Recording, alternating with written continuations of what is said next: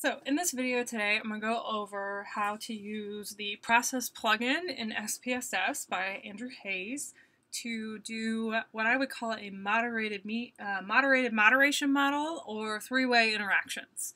And so this is model three um, in the Process plugin, which you can see on the picture here. So uh, let me explain to you kind of what's going on. I don't have the best example for this um, demo, but I can show you how to run it on your own data. And so I have a data set that has student success as the dependent variable.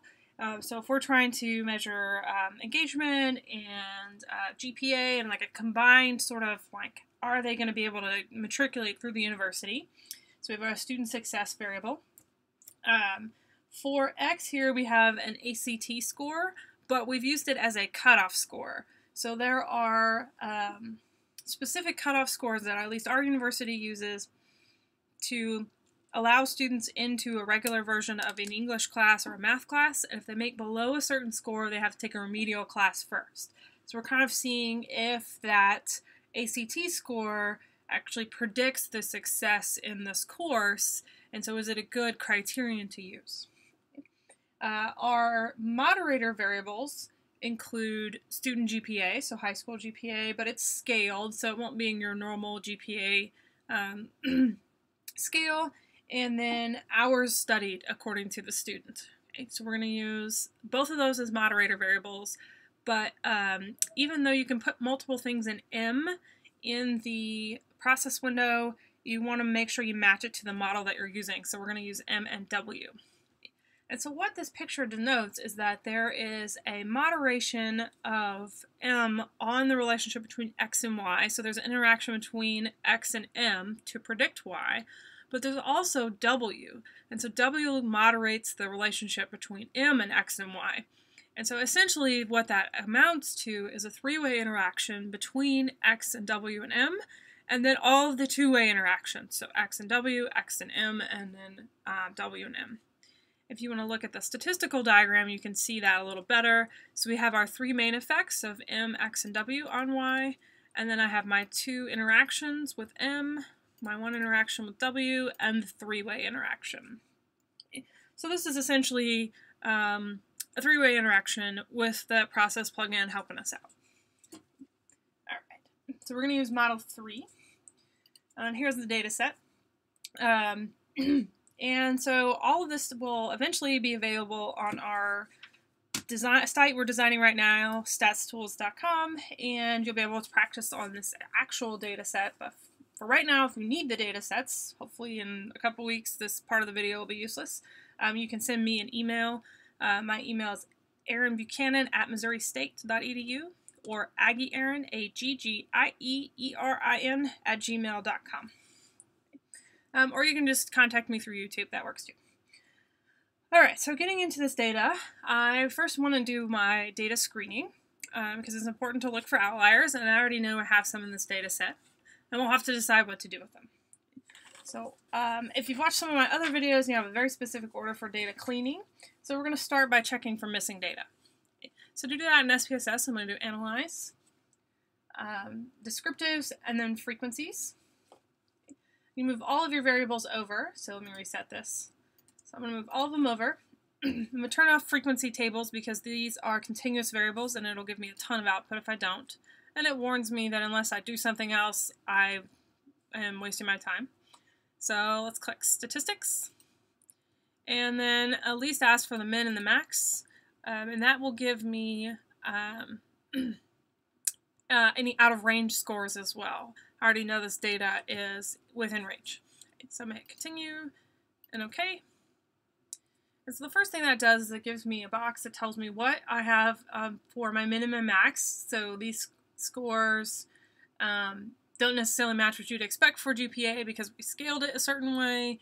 Um, and then hours uh, attended some study sessions. I have their six, actual success score, and the ACT score is either below or above the cutoff. Um, I have some missing data here. So I have two in the GPA and two in the success in the core, or one in the success in the course, and then 24 in this hours studied. Now I probably don't want to fill that variable in because that's 10% of the data. So I would want to leave that out. Um, Now, the for scaled GPA, I could probably fill that in because it's only two people. Um, and then for success in the course, I tend to avoid filling in the dependent variable um, because that's what you're trying to predict, and so you're guessing at a, a an average score usually. Um, but you could because it's only one data point. It really probably won't affect a whole lot. But for this data set, I'm just going to fill in the two missing for scaled GPA and then leave everything else alone. And then SPSS will ignore those because they're missing. So you can do that fairly easily under transform and then replace missing values. The best option in SPSS is linear trend at point, which you need to change first. So otherwise it will automatically do series mean. So often you can move stuff to the right and then um, click on what you're wanting to include, but this is one of the weird windows where you need to change it first. So let's do linear trend, and I just want to do GPA. And you'll see here that says trend, so that's how I know that it changed. Okay. All right. So I'm actually going to get rid of, so let me save this as a new file real quick.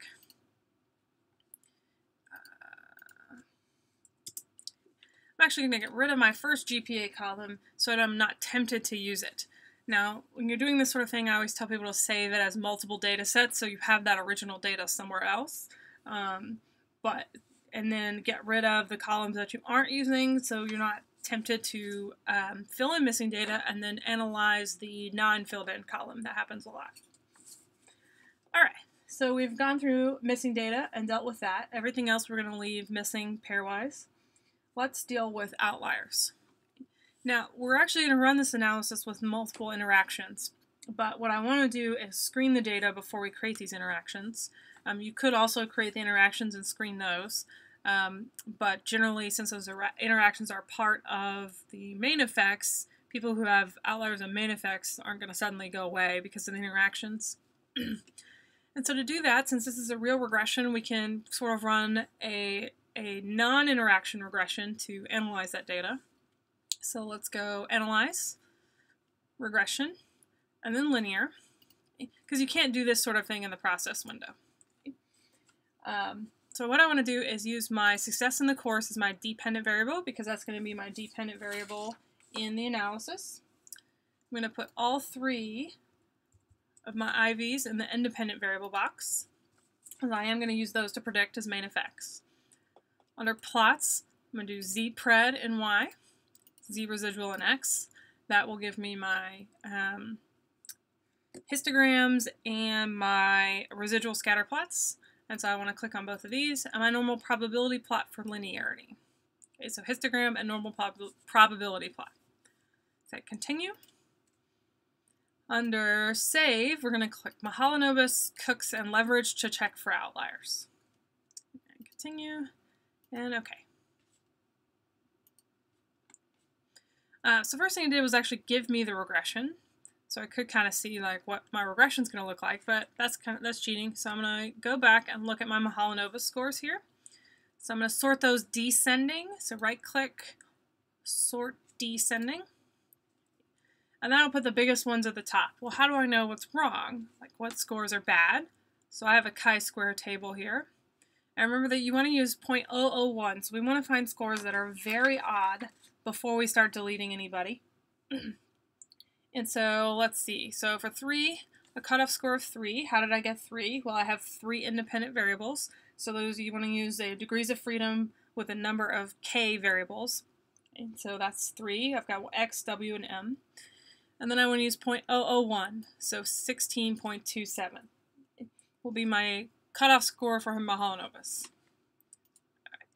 So I have three Mahalanobis outliers.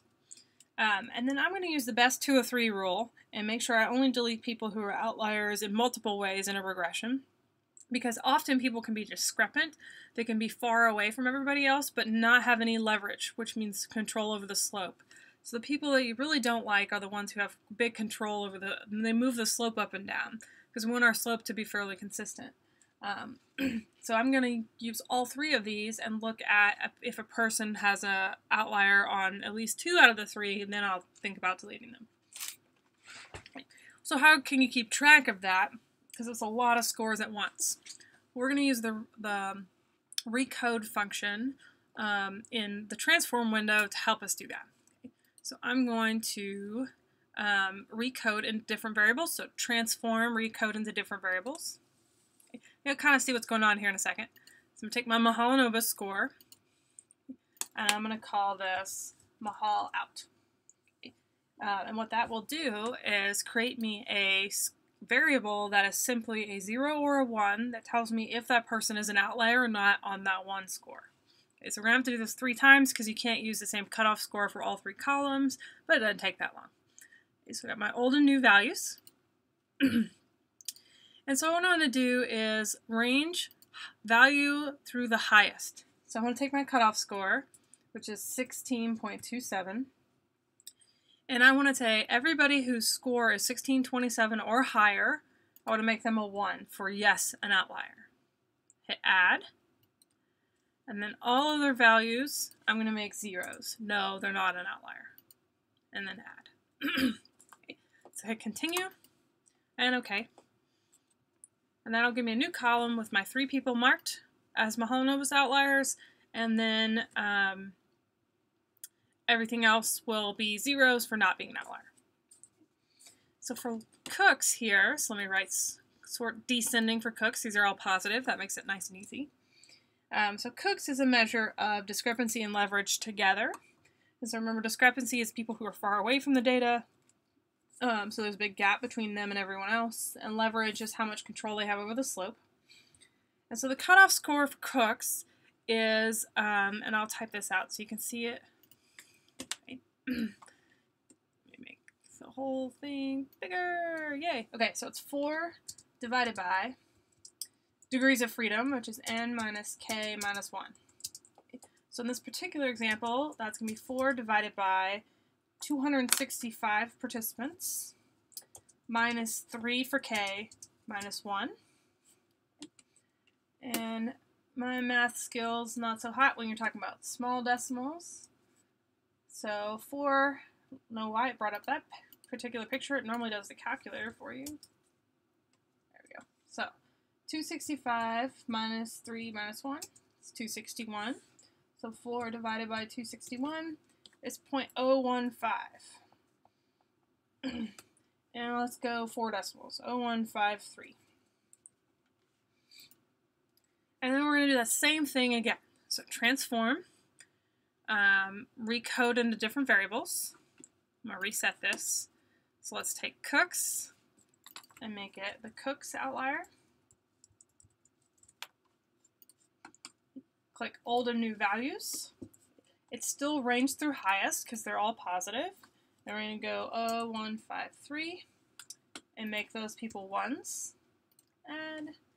And then all other values and make those people zeros and then add. So continue and OK. so I have quite a few Cook's outliers. So that is 20 people who are um, a combination of discrepant or leverage. And so I've got them all marked, but so far it looks like the overlap is only this one person who's an outlier on both. And then last but not least, let's do leverage. So the cutoff score for leverage is 2k, remembering that k is the number of predictors, divided by 2k plus 2 divided by n. So that's 2 times 3 plus 2, which is 8, divided by 265. Let's go back to my calculator here. So I got 2 times 3 plus 2 divided by 265. So I got 0.0302 if I round up. So the cutoff score is 0.0302. now let's do this one more time. So transform, recode into different variables, and let's hit reset. I got leverage values. So let's do my leverage outlier. Change. Get old and new values. Range value through highest. That's 0.0302. And the value is going to be 1 hit add, and continue. Oops, just kidding. Old new values. Now let's also do all of the values are zeros. Sorry, I don't want to leave it blank. Continue and OK. I forgot to sort leverage here, so let's sort that bad boy descending. So I have a lot of leverage people as well. So 30 participants who have a high leverage.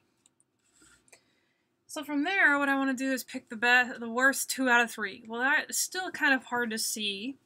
Um, it's pretty clear some of these ones at the top are two out of three, um, but which ones are they?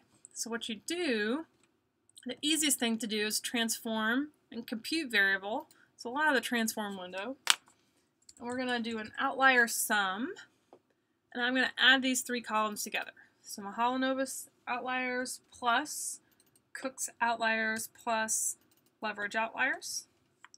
Hit OK. And then let's sort that descending. And now it's I can see that I have 13 participants who have um, at least two out of the three are bad. And these are the participants that I would want to exclude in my analysis if I decide to exclude outliers. Now let's do that. You don't have to, but you can. So what I'm going to do is save myself a new data set. And I would normally call these something um, better than 1, 2, and 3, uh, but I'm just using this for the video example. Okay, so hit save. and I'm going to get rid of these people. So 13 participants deleted due to outliers, and when you write this up, you would explain that you used Mahalanobis, Cooks, and Leverage as your as your criterion for deleting those people. All right. so now that we've dealt with missing data and outliers, the next thing you would want to do is multicollinearity. So you don't want to waste your time using two x variables that are very highly correlated, and especially not when doing moderation, because then when you add the interaction, the multicollinearity gets to be too much, okay, and they might suppress each other. Or it might not run. So let's do analyze correlate, bivariate, just your independent variables. So you got a bunch of extra columns here, but just your three independent variables. So I got my GPA, my sessions, and my ACT score. okay, and the ACT score one will be a point biserial because it's only two variables. And we're going to leave the DV out. You want them to be correlated with the DV. That's the point of regression. So we're not going to look at that correlation because that's what we're trying to do. Right, hit OK. Back to my output here. And it looks like um, we're not at multicollinearity levels yet, but that's pretty high. The correlation between their GPA and their hours of attended sessions or study sessions is pretty high. So as GPA, scale GPA is going up, um, they're going to more sessions. And that shouldn't be too surprising because the smarter students tend to know that they need to study more. There's lots of research showing that um, poorer students don't know that they when to get help until it's too late. Um, and so um, you often find that anytime you have optional study sessions, students who need to go don't. Um, but there doesn't seem to be a relationship between GPA and ACT score, which is a little odd. But that's partially um, because we've got this scaled as a, a, a categorical variable. Um, and so there is a correlation and it's negative. So the higher your GPA, the lower your ACT, or the more likely you are to be in the zero group, which isn't necessarily the best correlation to have, which is why I said I don't have um, a fantastic example for this particular video. Okay, because that doesn't make a whole lot of sense. Alright, but anyway, do we have multicollinearity? No. And that's good. Okay, I might worry a little bit about this 0.6 because that's um, 36 to 40% of the variance is starting to overlap, which is kind of a lot. So we'll see what happens. Um, the last piece is the assumptions. And we've actually already run them up here, and they're going to be kind of scary. Um, but I deleted outliers, so I want to rerun it to look at assumptions again. So analyze, regression, and linear. You can just leave the whole thing set up. You will get extra Mahalanobis and leverage columns, but you can just ignore them. So I'm hit OK. And let's look at our assumptions. So, do we meet multivariate normality? Well, that's kind of iffy. Uh, and one problem that you have is that most of the data generally is between 2 and 2 on a scaled residual. Um, and then you have all these like dudes out here. So most of the data is actually centered over 0, which is what you'd want. And you've just got a couple of little residuals out here that are really bad out um, outside of the data. Because we've deleted outliers, but they the residuals are pretty high.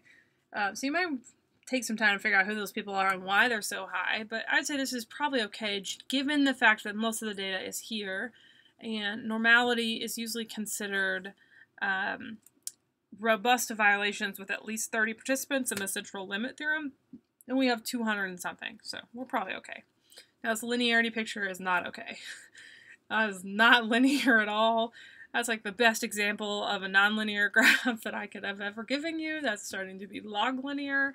Um, so linearity would not be good. So in general, this is where I'd stop and maybe try to do to see if it's the the zero one variable because sometimes that'll give you problems when you're using categorical predictors. Uh, and then I might consider trying to um, do non-linear regressions, so some non-parametric um, regression or maybe a log linear analysis, okay, or logit or probit, something different. Uh, so normality is probably okay, linearity is not. The last two are homogeneity and homoscedasticity. So for homogeneity, what you want to do is look at the zero line. You want equal spread above and below zero, and it's not equal because there's um, it goes up to 4 over here and down to negative 2 over here, and there are clearly more dots over here. And then it's 0 the other way. We've got 2 to 6, which is the same problem with our um, normality graph. So probably not homogeneic. And then homoscedasticity is that you want the spread of the dots to be even all the way across the, the graph. And so I always tell students to draw a line around the graph, um, and it is not at all. It kind of makes a fish. Um, and so that's not good for you either. Now, there'll always be one or two little dudes out there, um, so we always joke about those in class that these are your delinquent children. Um, but uh, this is still, even if I look at this this area, it's not very good, especially because of the cluster of dots down here. Okay. So not the greatest example. I would definitely probably try to do this a different way. More than likely, I'd tell you to do an R and use a different distribution family than the normal distribution, like maybe a Poisson distribution or a, a log linear distribution. But since this is a demo of process, we're going to keep going. So there's my warning that I would not keep going on this, but to show you how process works for three-way interaction, I will. Alright, so to actually run the analysis, let's say everything actually does look good. What you do is hit Analyze, Regression, and then Process. I think I have the newest version of Process, um, and this is SPSS 22. Alright. Um, and so what we want to do is set this up. So it looks a lot like a regression window, just got more boxes. And what we're going to do is use um, X is going to be our ACT score, so our independent variable. Um, success is going to be our dependent variable, so Y. Uh, let's see here. The GPA is going to be our M variable, so our moderator, and our second moderator is going to be W, which will be hours attended. If you stick it in covariates, it will, it will only include it as a main effect. And while it looks like it can put extra things in M here, it doesn't like it when you do that. Um, and so we're going to use M and W. Now X, M, and W are going to all be entered as main effects and all of their interactions, so the order actually doesn't really matter that much. Um, but my idea, theoretically, is that the criteria for our scores should also should predict the success in the course so this is the thing we actually use to determine whether or not students should go into that course. And then I have some other variables I want to see if they moderate that relationship. Um, so the reason I did them in this order was more theory-based. All right, uh, so let's pick a model number. We're going to pick model 3, like we talked about a minute ago. So we're going to do double moderation or moderated moderation or three-way interactions, whatever you want to call it. Under options, we're going to pick the first four. So mean center for products to help us with multicollinearity problems. I pr pretty much always leave on heteroscedastic consistent uh, standard error errors, especially because our data is heteroscedastic. Um, ordinary least squares or maximum likelihood confidence intervals are always a good thing. And then generate data for plotting which you can only use with the moderation models. So um, we'll use that to make our picture of the data. So hit continue. Under conditioning, I always like to ask for the Johnson-Neyman. I think it's really cool. Um, it only works for models 1 and 3. And then we want to, uh, you can change this pick a point thing. Uh, the traditional way to do this for simple slopes is plus and minus one standard deviation, but percentiles works as well. You just have to tell people what you're doing. So hit continue, and then OK.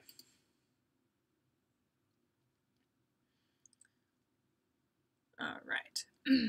so let's take a picture of some of this and blow it up and talk about what everything is. So the first thing you're going to get is just a reminder of what you entered. Let's go back to this window. Find this a little easier to see because I can make it bigger. Okay. So it's reminding me what I've stuck in each box basically. I'm down to 227 after deleting missing people and outliers. The very next thing down is the um, model summary box. This is akin to the model summary box in when you run a regular regression. And what that tells you is how much variance is accounted for by all of your variables, including the interactions. So we've got 11% of the variance, so I want to look at r squared. And then is that significant? So my f value is significant. So 11% of the variance is greater than chance, greater than the mean of y um, as the predictor. And um, I would list this when writing it up as f, and so it's 7 and 219, which I got from that very first row, df1, df2, is 4.65, um, p is less than 0.001, and then I would do r squared,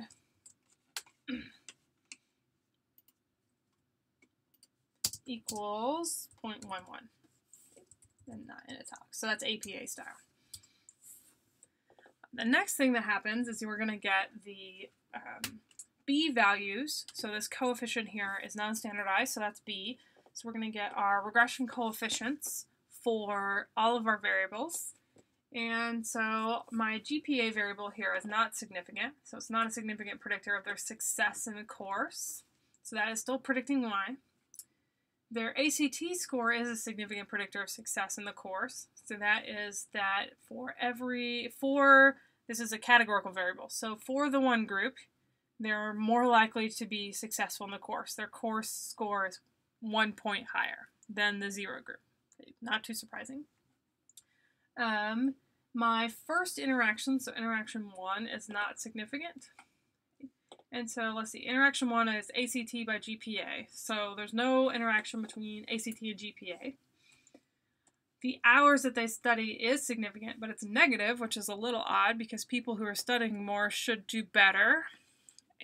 But it may be that the people who are studying more at the end haven't been studying the whole semester. So I would need to look at like maybe some informal archival data to explain that relationship.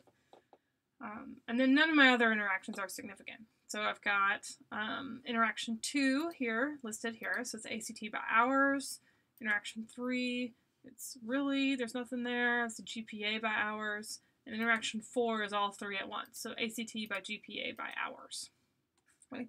So none of those are significant, which is why said this is not the best example. But we could talk about each one of these one at a time. So I'll give you an example. Let's say we want to list the coefficients for each one, how would I write that up? Well, the ACT score, you'll list B because it's the unstandardized coefficient. It's 0.0101. I list my T value. The degrees of freedom for T always match the F statistic, so it's 219. Equals, and then I go over here to T, so 2.09. And then my P value is 0.04. You can also list the upper and lower confidence intervals for B if you wanted. So that's the lower level confidence interval and upper level confidence interval. Right? And it doesn't cross zero, and that's why it's significant.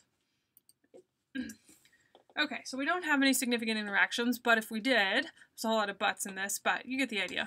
Um, we would look at the next piece down, which is the conditional effects.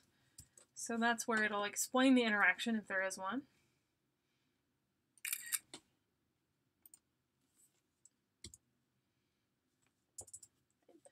Okay, so what's going on in this graph? It's actually going to give you um, several different outputs, but mostly you're probably going to want to look at the um, conditional effect of x on y given the other two moderators.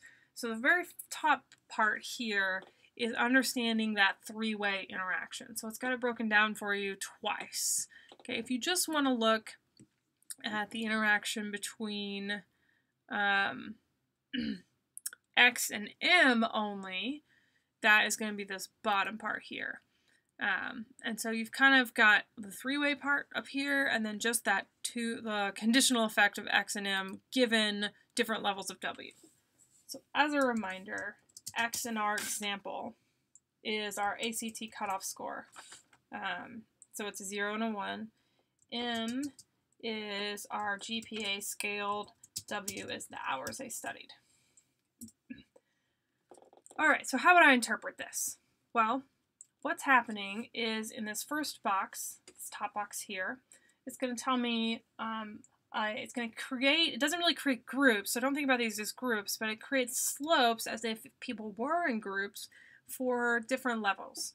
So if I make a little table of what's going on in this chart, so there's going to be nine rows because I like tables. If you've watched my videos for any of my videos for a while, you'll see that I really like, really just love tables. All right. So what's the first thing? This is the, this is going to be hours here, GPA, and what happened. so for low hours, because that's the standard deviation is 4.67, so that's where it got a 4.97. Um, so that's what this number is. It's a one standard deviation below the mean, because these are mean centered. So the zeros here are the average group. And then the very next one over tells me I'm doing a low GPA. So for a low scale GPA, so 2.99 points below the mean. So if you wanted to know what the actual GPA for that was, you would go back and calculate what's the mean of this score. Okay, this is 2.9 points below that mean. So this is also low. So for people in the low hours and the low GPA group, what's the relationship between X and Y? So for our ACT group, um, what's happening is that the effect is 1.12. Okay, and that's not significant, it's sort of marginally significant. So ACT marginally predicts um, success. And remember that in this particular example, that means the difference between the two groups' success scores. So our, our one group, the people who have the higher ACT scores, are doing better. And it marginally predicts success. and all of these are positive, so they're all scaled the same way. So our groups are always doing better. So the next column down is still low here because it's still the negative hour score.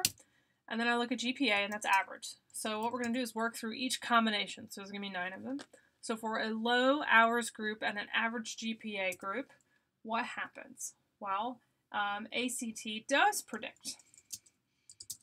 Predicts success. And so the difference in the success scores is 1.30. Okay, so we're getting more, um, more differences between our groups. For the next one, I'll get low hours and a high GPA, and our ACT score still predicts success. And so the scores are going up. It's 1.49 this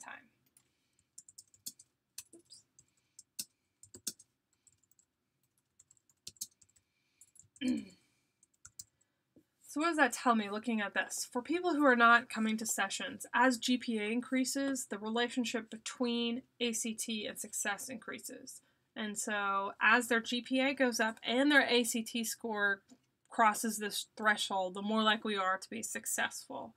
Um, and then this is only for the low hours group though. So what happens when um, we move up to the people who are coming to an average number of hours? Okay, so there's going to be three of those as well. so average hours and low GPA, what happens? So average hours, low GPA. The effect is actually much smaller, and it's not significant at all. So there's no difference between the ACT groups. Okay. So essentially, as they come to more classes that affect the difference between them gets wiped out. So that's actually a good thing. As they go to more of the study sessions, um, they're performing at the same level as their um, ACT, higher level ACT peers. So at an average, average group, so got average, average, um, it is significant. So there is now a difference. So um, while that helps the low GPA group from a low average, um, and once we get into the average GPA group, an average number of hours, still we see a difference. so it does predict success. And our students in the um, above the criterion on the ACT are doing better. So an average high now this time so average number of hours, a high GPA. So average high. It does predict success, and the score is higher.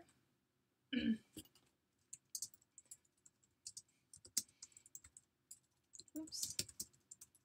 Typing. And so students who are coming to an average number of hours and are in the high GPA group are doing better. Um, the, and then their ACT scores above the criterion are doing better. But if I look at this overall, the pattern, we get to the same exact pattern that as they go, as their GPA increases within the average group only for hours, as the GPA increases, the difference between my low and high um, ACT groups goes up, which is the same effect here. So these are increasing as GPA increases. And so that's one of the reasons why we didn't get the interaction is because the pattern is the same. While these numbers are physically different, the pattern of the slopes is the same. That as they're increase, as the GPA is going up within each hours group, we're getting an increase in um, in the relationship between ACT and success. All right, let's do the last group. So people who are studying the most, what happens? So we're going to get high and then a low. So what happens? So people are going to a lot of sessions on low GPA, there's no relationship between them. So it does not predict success. And then for our high group and the average GPA, so high studying, average GPA, that p-value is not significant. It's actually going down, but still not, there's no relationship. And then for the high group, of average, I'm sorry, the high group of hours and the high GPA. so high, high, we get a marginal relationship, but again, look how small the difference is. Okay, so it's, um, this actually is decreasing in slope. So we didn't get the interaction, but it's, almost there because you're getting a difference. The, the slopes are going the other way for this group, but it's not strong enough to show a significant effect.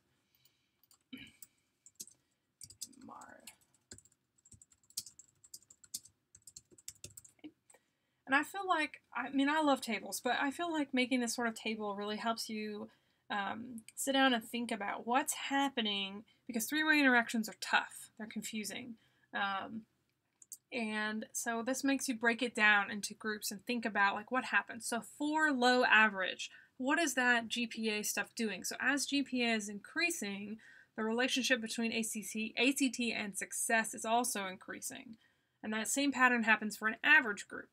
Now for the high group, there's almost no effect of ACT on um, on success. Maybe one small marginal piece, but really there's nothing going on. So if they're studying a lot, their GPA doesn't matter.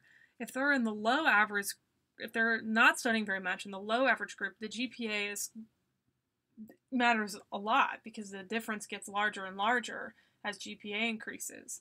Um, and if they're in the average number of hours studied group, GPA matters, but the difference between the low and the high is not as strong. Okay, so thinking about like what's happening at each of these levels. The other thing you can interpret here is this conditional effect of, of X and M interaction at different levels of W. So this sort of collapses across GPA and looks at only hours. So um, I find this a little harder to interpret, but at a low number of average hours, the overall effect of GPA is um, 06. okay, I'm sorry, that's not just GPA.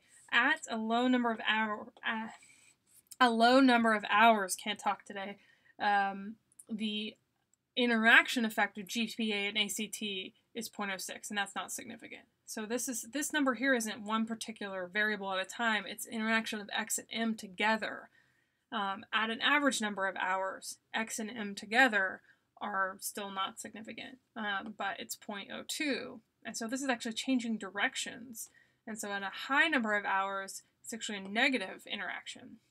Um, this is nice to have, but it's this to me is easier to interpret the conditional effects of x on y because I can deal with one variable at a time.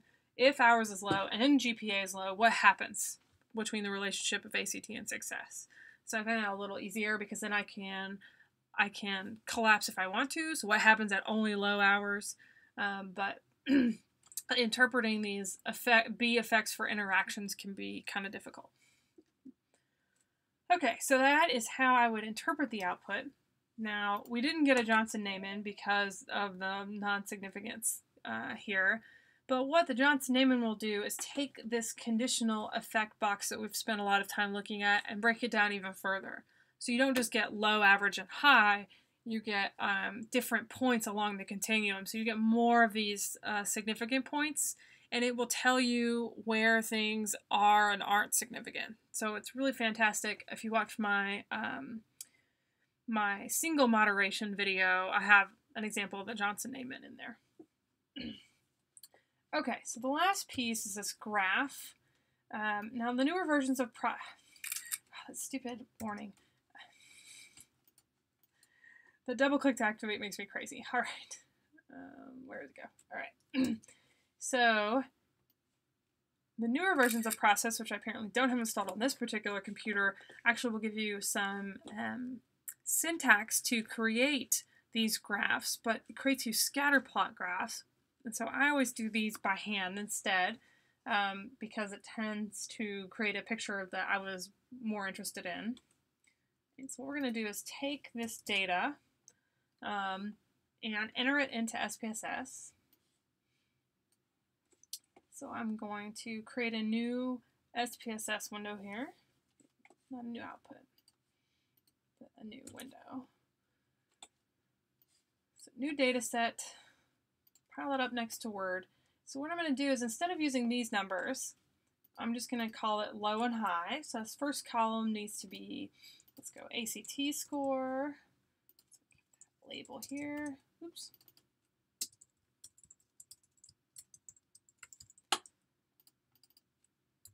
Okay, and then we're going to do our hours score. So this is hours of study sessions. And then our GPA, which is scaled GPA since schools use different systems.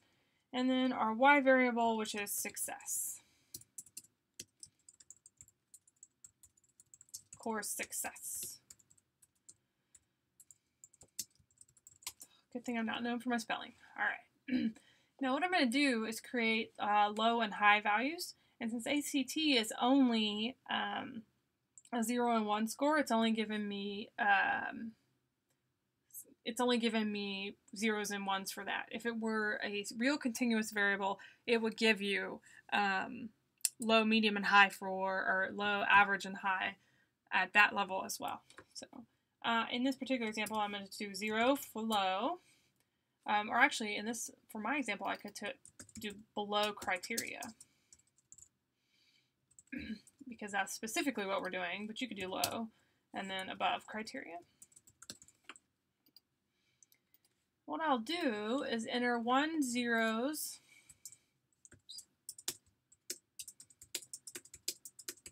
until we have enough columns that we need. I'm going to turn on value labels here so you can see that a little better.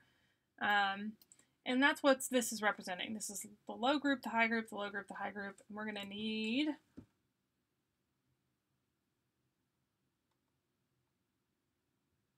Eighteen of those.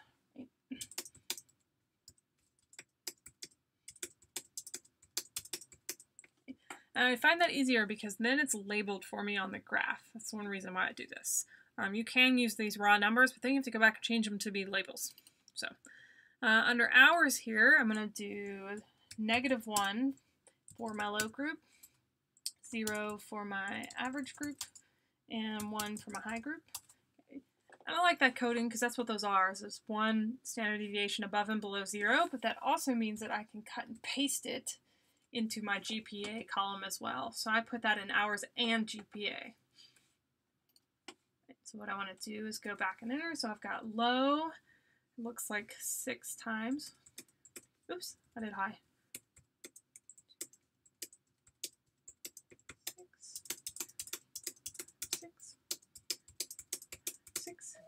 So that matches this low, average, high.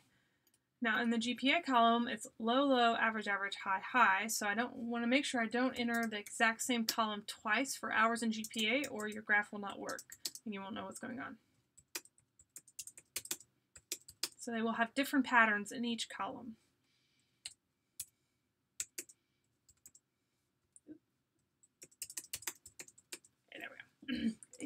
And so these are um, the, we're just breaking it into groups in a sense to be able to create this graph picture. And the data is really continuous, but this will help us make a picture, a graph. And then I would want to enter the y-hat scores. So these are predicted scores for people at each one of those groups. And this is where you gotta type the numbers. So we'll do two decimals just to make it go kind of quick.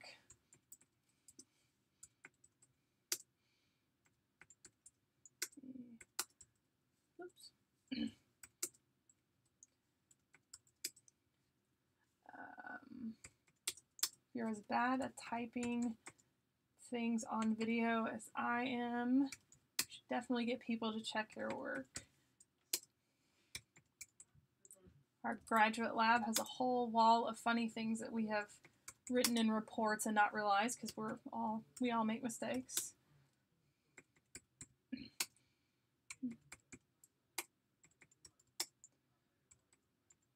Okay, I got a line off somewhere. So we got 4.34, 54, uh, uh, 3.92, 1, 4.03, 5.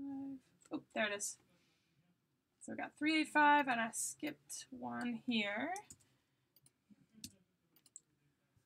It's 4.86. Let me make sure I hit the rest of them right. Perfect. Okay. So now how do I create this picture? We're going to use chart builder, so graphs, chart builder. It's really grumpy with me because I haven't um, set the variable property. So I'm going to go back over here under ACT score, under measure, I'm going to make uh, that one's nominal and then make the rest of them scale. Go. Um, all right, now graphs under chart builder. Yeah, yeah, yeah. All right. so here's chart builder. I'm going to make sure that you have these little variables, um, type of measured variable on there. We'll force you to do that first. We're going to pick line graph. And I'm going to use a multiple line graph. And it's actually not going to let me create a three-way interaction in one graph. So what we're actually going to have to do is back out of this first and do one extra thing. But let me show you um, let's go ahead and kind of set it up and you'll see why you can't do three three-way interactions in one graph. Okay. So I could take, I want to always usually put x and y in the places that I thought they were. So course success was y. And x was my ACT score, but I might split my data on x. So let's actually put uh, GPA in x and hours of study in set color, which means I'm going to have to force that variable to be a um, a nominal variable. So you can right click on them. I'm going to click nominal just to make sure it can go into set color because set color requires it to be a nominal variable. Um, now the, you can move these around to sort of, sort of create the best picture. Generally I suggest to put X here and Y here because um, that way it matches the simple slopes that you are doing. But in this particular example, because X is a um, a um, dichotomous variable, you might consider splitting everything on x. And that'll make more sense here in a second. But if I wanted to do it the way I've told you, I've told everybody else to do it, I might put my x variable here, and then actually my m variable, my scale GPA, here. Um, and there are lots of different ways to do these graphs, so yeah, it's kind of up to you. So let's hit OK. And that will give us the graph for above and below criteria, the relationship between GPA and success in the course. But now I'm sort of stuck because I don't have hours. So what you want to do is go to data and then split uh, split file and let's split on hours. So organize output by groups and then move hours of study into here. So you could pick any one. I could split on ACT and look at people who are just below my criteria and people who are just above my criteria. I could split on GPA, so let's look at low, average, and high GPA, um, or I could split on hours. So it kind of depends on how you want to sell the story and how you're going to talk about it in your output. Um, so whenever you're writing this up, uh, split based on the way you discussed it in your results section. So, I'm hit OK. And now let's make that same graph. So graphs, chart builder, hit OK. Uh, and then I want to leave this actually the same. So don't split on a variable and then try to use it. It'll freak out. Um, but I'm going to leave all this the same and hit OK. And I'm going to get three different graphs. I'm going to get a graph for um, low, average, and high. Generally, it tells you, oh, here it is. It's at the top. Study sessions low. So here is the relationship between GPA and success in the course given ACT score for low people only. And so you can see that as GPA um, as GPA increases, it seems to matter for the people in the below the criteria, but above the criteria, not so much. Okay. Um, and then for an average number of group, we get almost perfectly parallel lines. So GPA is making a difference, whereas the um, the low people are actually doing better in the course, which is sort of weird. Um, and so maybe, but the study sessions aren't working like we expect them to. Remember, this is not the best data set. Um, and people who are above criteria are doing better than below, but there's no interaction because the slopes are parallel. And we see that almost the same picture here. So this is the one that actually has slightly, the, the slopes are getting closer to zero. Um, and so they're a little flatter. So you're going to end up with at least three graphs, uh, maybe more if you have more than, if you decide to do like um, two standard deviations above and below the mean, or if you're doing some Johnson-Neyman graphing. But that's probably the easiest way to graph them given the output that you get for um, from process. So that's worked through the whole thing on a uh, three-way interaction or moderated moderation using Model 3 in the process plugin from data screening all the way through graphs. Um, and then let me know what questions you have.